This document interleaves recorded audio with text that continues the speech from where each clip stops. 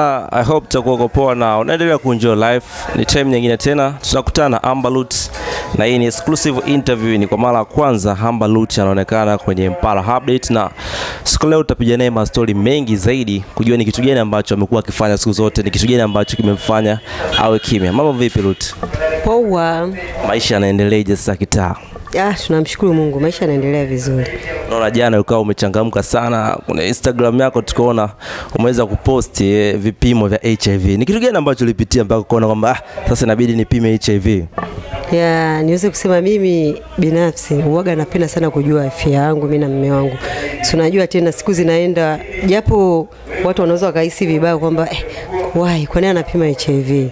Ana wasiwasi gani? Lakini kucheki afya ni muhimu sana kwa yani nimejiwekea kipengele hicho kwa sababu ukimwi wa uambukizi kwa zinaa tu unaweza kuambukizwa kwa njia nyingi sana. Kwa hiyo napenda kujali afya, kila baada ya miezi mitatu huwa naenda na mume wangu kucheki afya.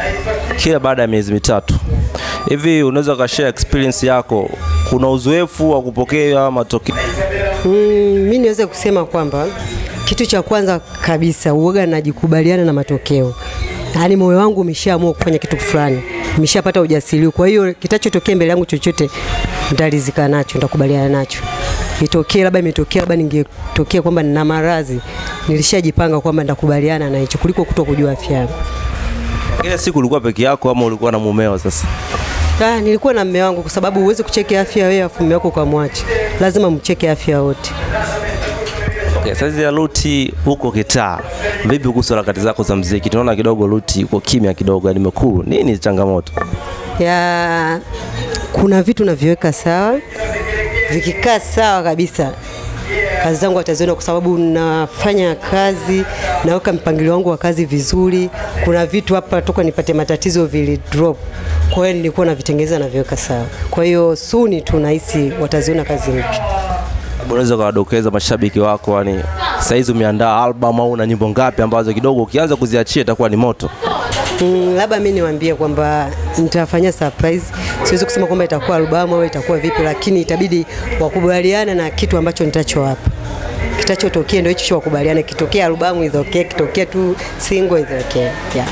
Natakiwa ujipange kweli Ruth. Tunafahamu saizi watu eh, wasanii wakubwa wamekuwa wakijikita sana kwenye kuandaa album. Diamond yuko kule South Africa, Harmonize yuko Nigeria. Wewe upande wako ambaluti Lut unaenda kujichimbia wapi? ya nisingependa kusema kwamba naenda kujichimbia wapi, ila nadhani mimi vitu vyangu vingi kile ninachokifanya uwaga naviwekaga public ili mashabiki zangu wajue hatua nimefika hatua gani au nafanya nini hivi. Napendaga chochote wataona. Umeona saizi kuna pia BASATA wamekuwa wakihitaji kweli kuhakikisha kwamba wasanii kazi zenu zinapitia BASATA. Vipi, tayari ambao ulishajisajili BASATA na kazi zako kuna namna yote unazipeleka BASATA saizi zikakaguliwe? ya mimi binafsi kwanza kabisa niseme kwa sababu sikuenda kujisajili BASATA kwa sababu nilishaandaa projekti kwamba nini nikajisajili huko BASATA, lakini katikati hapa kuna mambo naona miingiliana hapa kati, sijui kwamba huwezi kufanya msanii ukifanya kazi yako lazima uende kule ukaonyeshe kazi yako, aidha waikubali ama waikatae, kwa sababu wataona wenyewe kuna maudhui maudhui sijui wanayatizama kwenye hiyo nyimbo.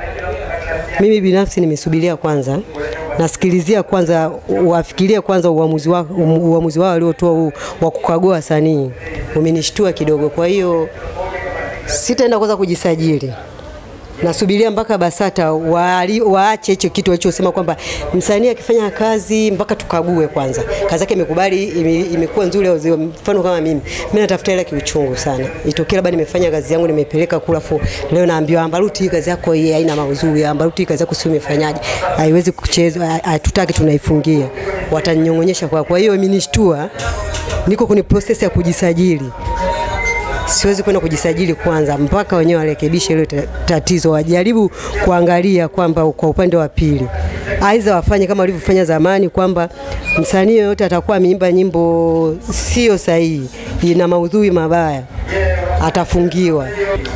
Nafikiri labda hii inaweza kaua labda vipaji vya wasanii wengine ambao wanakuja. sana sana, kwa sababu hapo kunazungumzia watu wa mikoani. Kuna baadhi ya wasanii mikoani wana ndoto sana za kufika mbali, wanafanya kazi zao huko mikoani, lakini hili swala liingia la kukagulia mtu atoke kule mkoani. Mimi namzungumzia msanii anatokea Mwanza, anatokea Kigoma, atoke Kigoma, nauli yake aitoe huku haje huku, aionyeshe kazi yake BASATA eh afu akishaonyesha BASATA kazi yake iambiwe kazi hii bwana sio sio nzuri, inafungiwa. Watamfanya nini yule msanii? Watamsaidiaje? Maana itakuwa amemwasili kisaikolojia. Pili, watakuwa wamempa changamoto kuni ndoto zake, watakuwa wamemrudisha nyuma, au anaweza akakata tamaa. Kwa hiyo walifikiria ili kwa kina sana kabla ya kufanya hivyo, kwa sababu tuna wasanii wengi sana changa, wanaimba vizuri, wanafanya kazi vizuri na wana ndoto kufika mbali sana.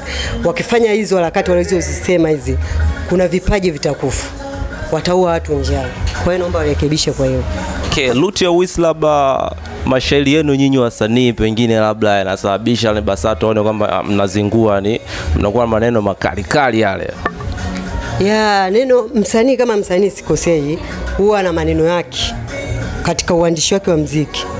Kuna msanii mwingine ndio anaweza akatoa tusi, lakini hilo tusi mpaka ukalijua wewe, yani uchanganywa kikino kwa kina sana, kwa sababu anakuwa anaongea mwenyewe, yani kimsemo wake anaujua yeye, yani wana misemo, tuna misemo yetu sisi.